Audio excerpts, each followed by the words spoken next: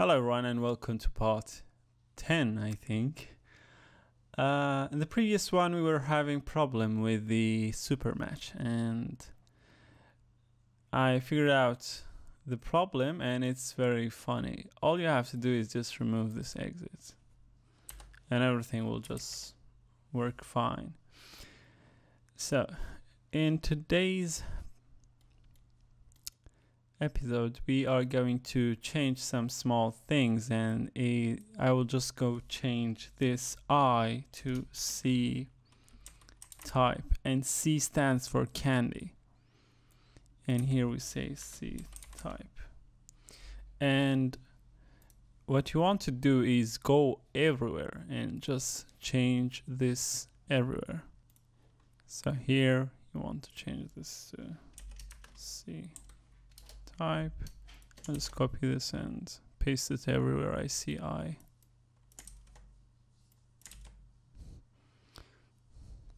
Alright.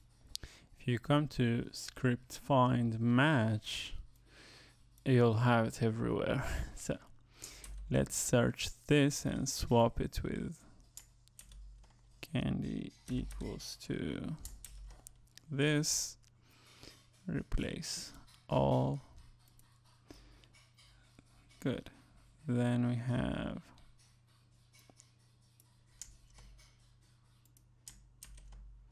this, swap it with this. Okay. That's it.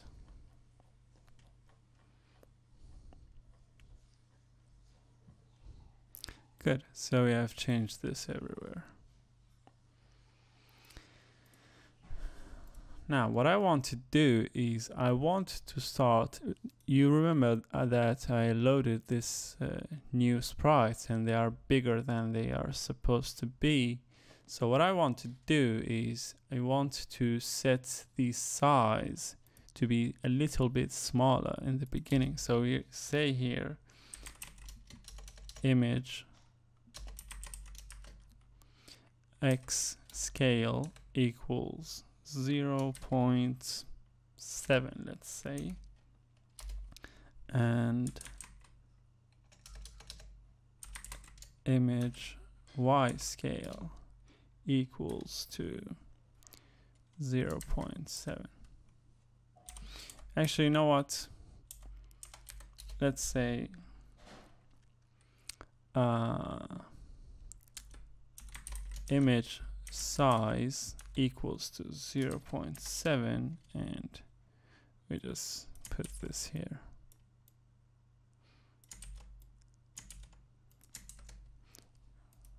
Good. So if we run the game,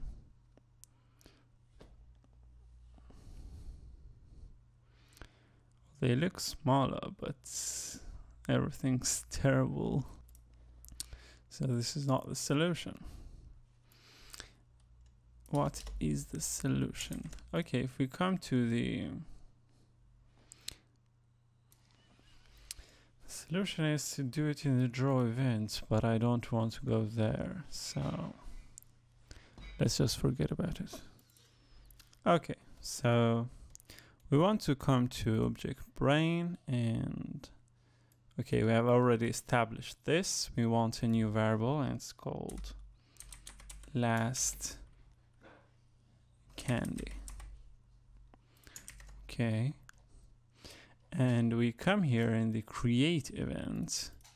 We say last candy equals ID.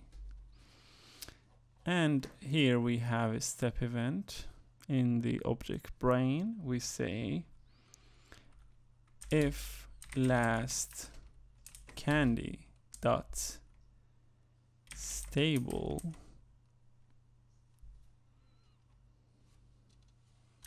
is true. Actually, you don't have to write this, but anyways. Then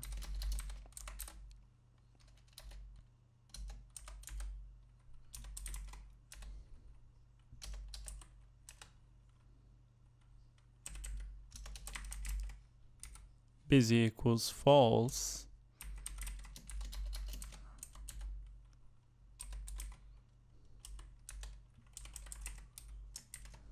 Else busy equals true.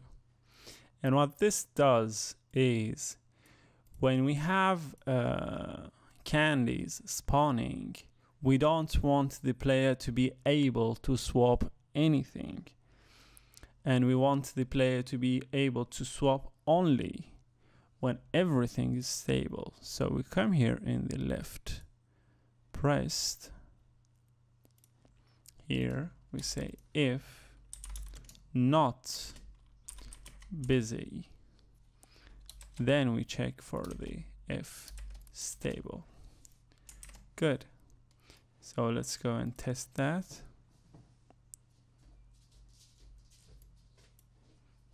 Okay, let me go and prepare this match 5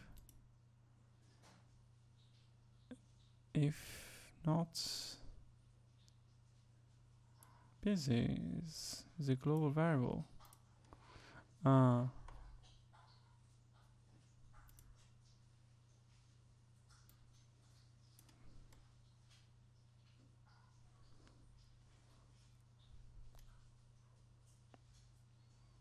Then what is the problem?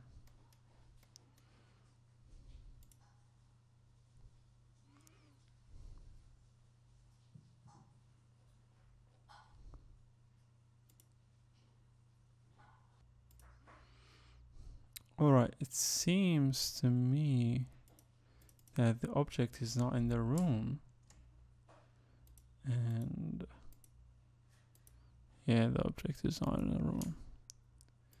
So I want to place this object inside the room. It's very important. I don't know how, how this...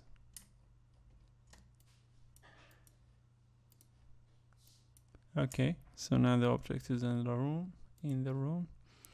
Let's run this. And yes, everything. Oh my god, what was that? And by the way, I want to complain to the yo-yo team this. You see the cursor now. What is this? Why it's not uh, the normal cursor? Cursor. The normal mouse. Why why is it why is it this? Well, what did I do wrong? I don't understand. Anyways, wh what was that?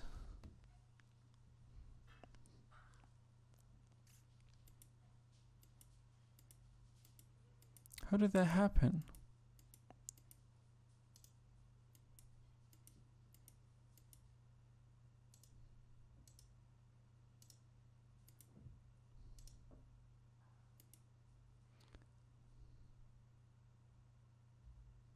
Hmm.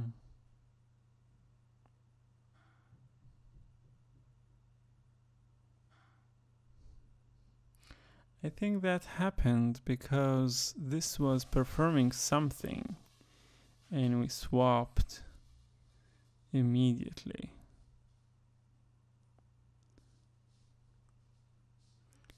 Otherwise, I have no idea why it happened.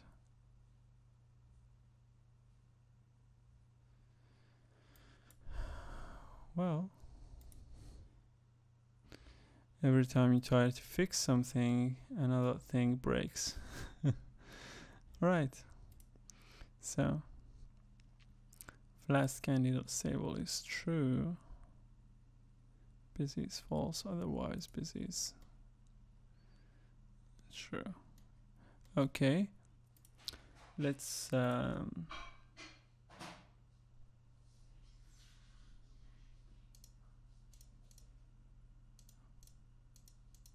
Let's test the match 5 for now. Okay, now we have this. And if I swap these two, every single yellow candy should be destroyed.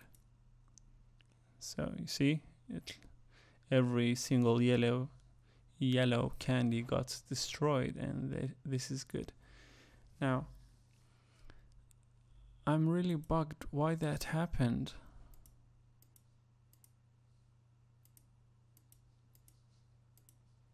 Very strange. See, everything is working, but only that episode. Well, it should not happen because you, you see, we destroyed this out of the ordinary. This should not be happening. Anyways,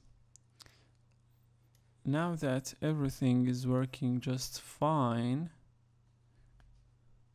let's see what we need to add to the game. Well, I don't know. You know what? I leave this to you. You guys tell me what we want, what you think this game is missing so we can add it to the game. Okay? So, thank you guys for watching and I will see you in the next one.